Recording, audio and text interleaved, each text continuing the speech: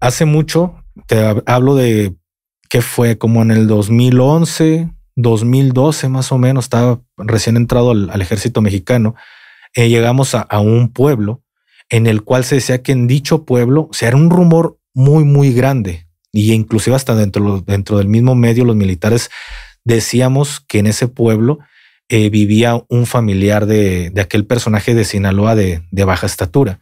Entonces, eh, se decía que esta persona, este, este personaje de, baja estatura, seguido iba a este, a este pueblito porque iba a visitar a su familiar y hacía ciertas donaciones a, este, a este pueblo. El pueblo estaba hecho de pura, ah, no me acuerdo qué material era, pero era un material caro. O sea, todas las casas estaban hechas de este material. No recuerdo si lo recuerdo, te lo digo más adelante, pero era un rumor muy fuerte y nosotros seguido teníamos presencia en este lugar que está en Jalisco. Entonces, eh, en algún momento llega una orden, carnal. Por la mañana llega una orden de sale. Eh, a ver, personal oficial al mando, con, al mando de tu personal, se prohíben los movimientos el día de hoy, actividades administrativas hasta nuevo aviso.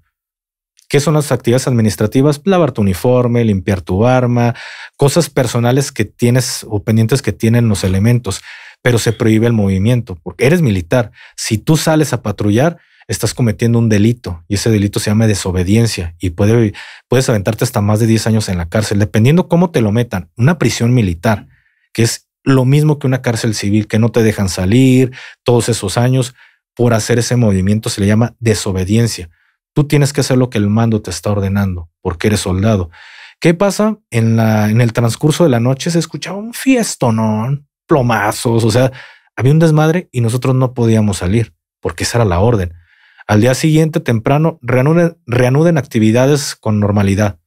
Ah, pues salimos a hacer el mandado, la despensa, fuimos a comprar que eh, ciertos insumos a, la tiendita de abarrotes y una señora se burló de nosotros. Ah, ¿Para qué están aquí? Nada más ¿Por qué, señora? Pues ayer andaba aquí el que andan ustedes buscando. ¿A quién? Pues el chaparrito. Ya saben quién, el que viene de Sinaloa. No se hagan. Si ya saben que aquí, aquí frecuenta mucho. Ayer andaba aquí. Y ahí es donde dices, coincidencia, que la gente nos está diciendo que ese señor se andaba paseando tranquilamente en el, en el pueblo y a nosotros justamente el día que dicen que se estaba eh, paseando, a nosotros nos prohíben salir a trabajar ahí es donde dices, ah, algo no cuadra, pero el soldado actúa con normalidad porque él no se da cuenta que lo están utilizando, pero sí te terminas así como sospechando que algo no anda bien, que hay coincidencias que están pasando o en verdad sí están ocurriendo y no, no terminó siendo una coincidencia. Y qué, qué culero se ha de sentir, güey.